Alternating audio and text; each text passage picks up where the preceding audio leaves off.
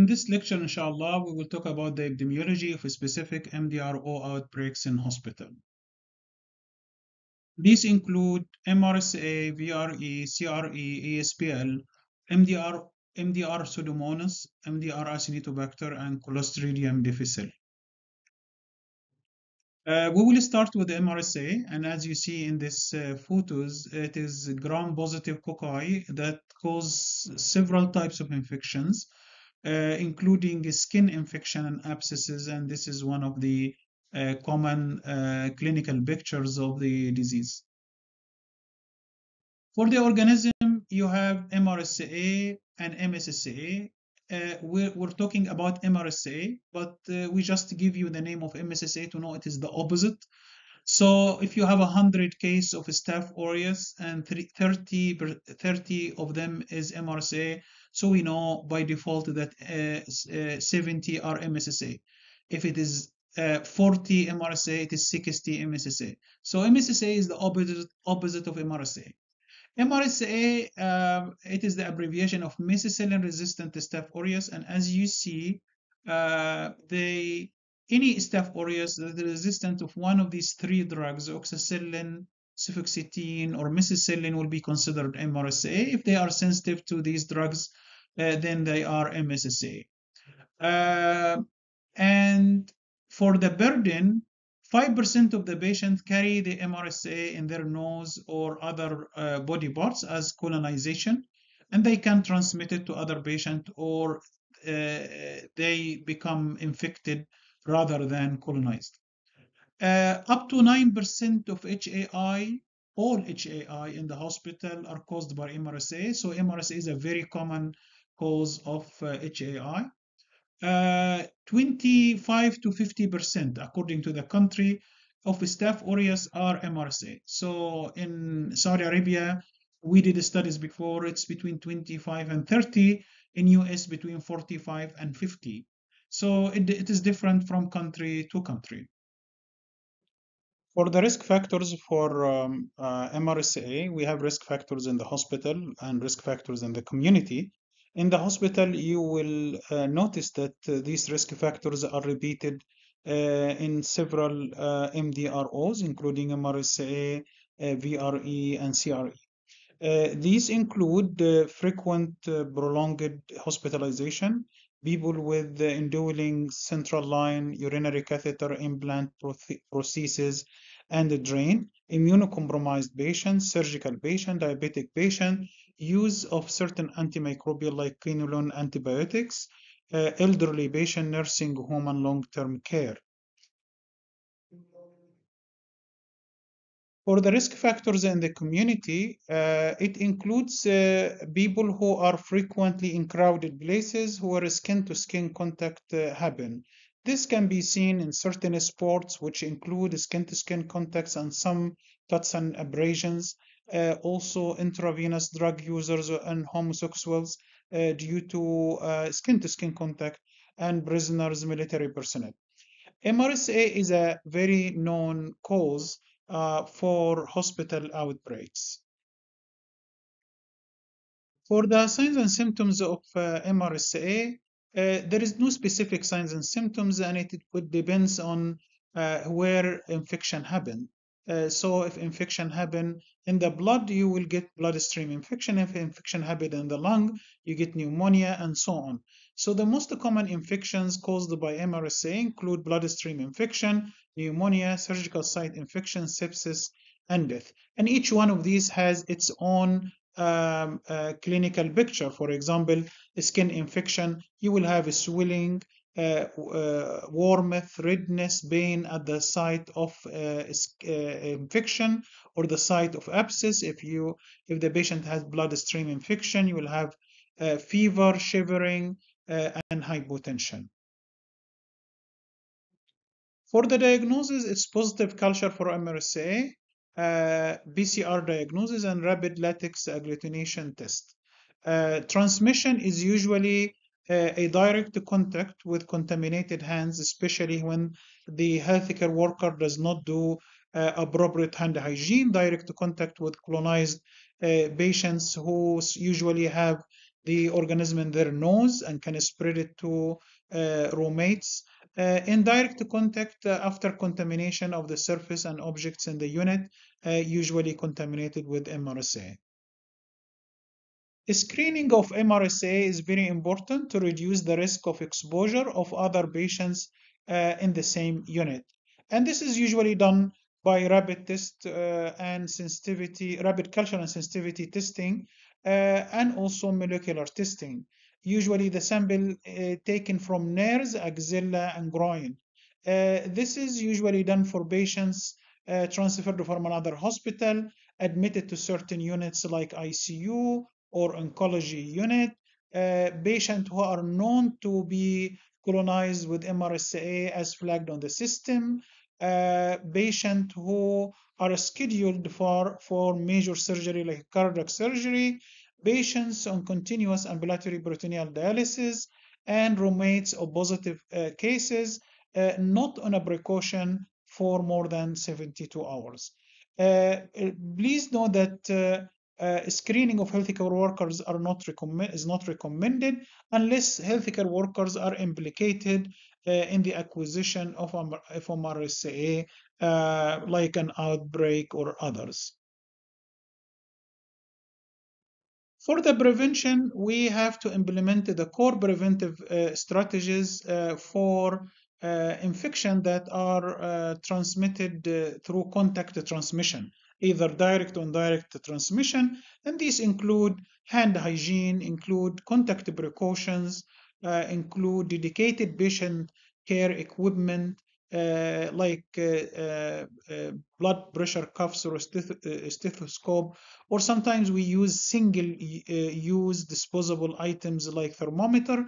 if common use of equipment is unavoidable, then you need to clean it and disinfectant between patients, recognize previously colonized patient on the system by flagging so everybody on the uh, in the hospital can find out that this patient has MRSA and deal with accordingly, uh, provide education on management of MRSA to the healthcare workers. Uh, the next item, implement the intervention to reduce device-associated infection that is usually caused by, M, uh, by MRSA. So we said that MRSA can cause CLABSI, SSI, bacteremia. So there, there is preventive measures and bundles for this infection that can be implemented to reduce their uh, happening. Uh, also implement supplementary preventive uh, measures including active surveillance and decolonization and chlorhexidine bath. Decolonization of MRSA is done by intranasal antimicrobial called uh, mupirocin twice a day for uh, five days. Uh, usually, uh, we discontinue contact isolation for a patient who had MRSA if they have three negative, three consecutive negative culture taken three days apart. Uh, and usually, you need to consult the ICRHD outbreak coordinators uh, before doing that. The next uh, MDRO that we will talk today is uh, VRE. As you see, VRE stands for vancomycin resistant enterococci, which is Enterococcus faecalis, Enterococcus faecium, and Enterococcus species unspecified that is resistant to vancomycin by standard susceptibility testing method. Enterococci is uh, or enterococci are bacteria normally present in human intestine, uh, in, in the female genital tract, and also in the environment like soil and water. And it represents 3% of all HAI uh, and approximately 10 to 20% of enterococci causing HAI or VRE. Um, the risk factors similar to MRSA, you will see the risk factors is prolonged uh, hospitalization, frequent hospitalization, patients with uh, devices, immunocompromised patient, diabetic patient, surgical patient, and patient who have been on certain antimicrobials. Here in VRE is vancomycin for long duration. Uh, VRE is a common cause of hospital outbreaks, and the symptoms will depend on the site affected. As we said in MRSA, it can cause bloodstream infection, urinary tract infection, surgical site infection, dialysis bacteremia, and the signs and symptoms will depend on the type of infection.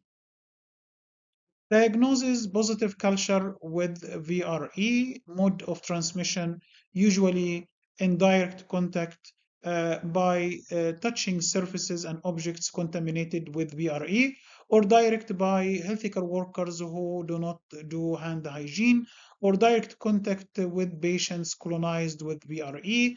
Uh, but VRE is not spreading by air uh, or by coughing and sneezing. Screening usually done for patients who were previously VRE positive, uh, roommates exposed to VRE positive case. Screening is not done for healthcare workers, again, unless they are epidemiologically linked to a new acquisition of VRE. And usually the sites uh, screened for VRE include rectal swab and perineal swab.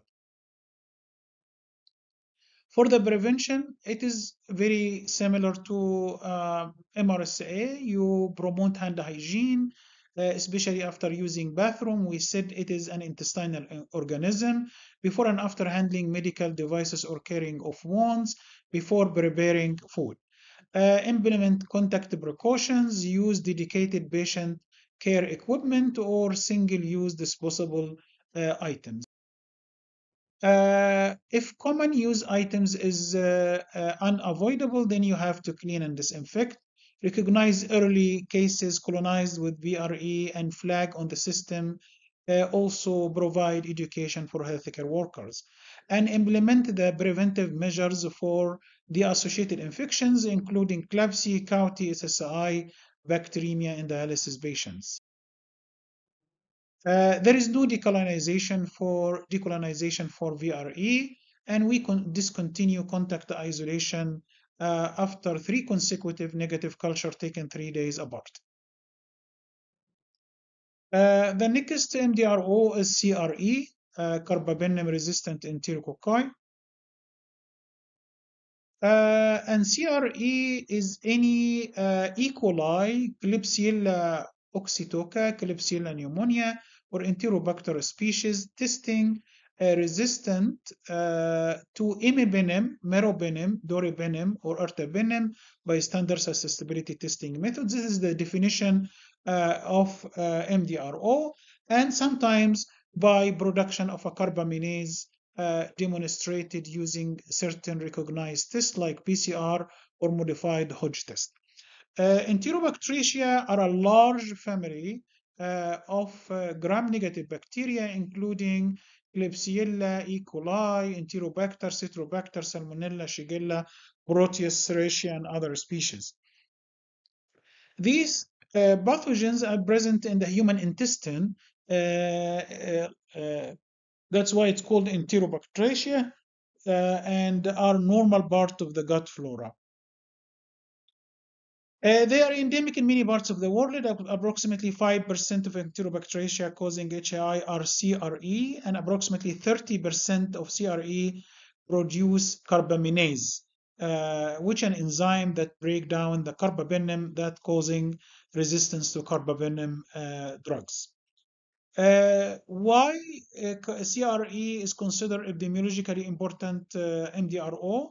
Because it's often resistant to multiple antimicrobial it often causes uh, infection that has high mortality. Uh, it is uh, can, can, CRE producing carbapenemase can transmit uh, transmitted from Enterobacteria to other germs, causing other organisms to be resistant to carbapenem. Uh, although CRE is currently primarily associated with inpatient care uh, setting, they have been noticing uh, its spread in the community as well. Risk factors in the hospital, uh, again, similar to VRE, uh, frequent prolonged hospitalization, people with devices, people who have been previously treated with certain antimicrobials. Here in CRE, it is carbapenem, cephalosporins, fluoroquinolones, and vancomycin for a long time. Immunocompromised patients and uh, uh older age patients. Um, it's a common cause also of hospital outbreaks. Signs and symptoms will depend on the body part affected by CRE. Common infection include urinary tract infection, bloodstream infection, uh, ventilator-associated pneumonia, intra-abdominal abscess, surgical site infection, dialysis, bacteremia. Uh, diagnosis usually by culture for, for CRE. There is also phenotypic diagnosis. Um, there is disk diffusion or automated susceptibility testing, and this is done to um, identify carbapenem resistant phenotype. Uh, there is also molecular identification uh, when you're looking for uh, carbapenemase uh, producing uh, CRE. Uh, the mode of transmission is similar to other MDRO, either by indirect contact with contaminated surfaces and objects. And here, uh, since it's an intestinal organism, it can be seen on toilets and uh, uh bathrooms. Um, there is also direct contact with uh, healthcare workers who do not do hand hygiene or uh, other patients who are having CRE. Uh, there is a screening for uh, CRE, usually done for roommates exposed to CRE, and there is active screening also for admission to certain units. Not, not every unit in the hospital, but some units like ICU can uh, decide to screen everybody for CRE. Uh, and uh, CRE uh, screening is not recommended again uh, for uh, healthcare workers unless they are epidemiologically linked to new acquisition. The specimen used for CRE screening is stool specimen and rectal swab. And in sometimes they use urine, stoma swab, wounds, and catheter exit site. Prevention and control of CRE is very similar to VRE and uh, MRSA. It includes promoting hand hygiene, especially after using the bathroom, as we said, it's intestinal organism, and also before and after handling medical devices or caring for wounds uh, before preparing uh, food. Uh, also implementing contact uh, precautions. Uh, as VRE also um, whenever the patient you, is using equipment should be patient specific or or whenever can be single use would be better uh, if the common use equipment is unavoidable then we have to clean and disinfect between patients recognize previously colonized patients by on system by flagging uh, providing education for healthcare workers, uh, prescribing and using antimicrobial antimicrobials appropriately, uh, discontinue device whenever possible. As we said also in um, MRSA and VRE, uh, infection caused by CRE can be prevented by their uh, bundles and preventive strategy, including CAUTI, CLABSI, VAP, bacteremia, and SSI. There is no decolonization for CRE, also VRE, only for MRSA so far we took. Uh, we uh, should continue uh, uh, contact isolation for the whole uh, duration of hospitalization uh, in acute care uh, setting and only discontinue after consultation with ICB uh, and uh, ICRHD uh, coordinator. The next MDRO is ESBL. ESBL um, are enzymes uh, that confer resistance to most beta-lactam antibiotics. So they destroy the beta-lactam antibiotics, and these include penicillins, cephalosporins, and monobactam uh, aztreonam. Uh, they are present in several types of uh, pathogens, including Enterobacteria, especially E. coli and Klebsiella, as well as other gram-negative, including Pseudomonas aeruginosa. Uh, the burden is very high. Actually, it's between 15 to 30 percent of Enterobacteria are ESBL. For the risk factors for ESBL, uh, risk factors in hospital setting, uh, patients who have been treated with the broad spectrum antimicrobial, especially third generation cephalosporins, fluoroquinolones, vancomycin, and quinolones.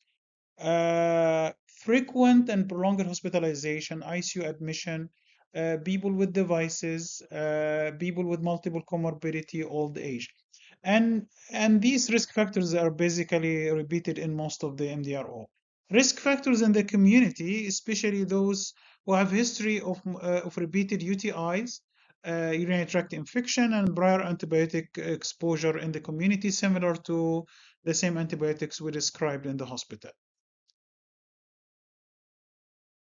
They can cause hospital outbreaks, and the symptoms will depend on the body site affected, especially uh, can cause urinary tract infection, the most common, uh, abdominal infection, diarrhea, wound infection, bloodstream infection, ventilator associated pneumonia.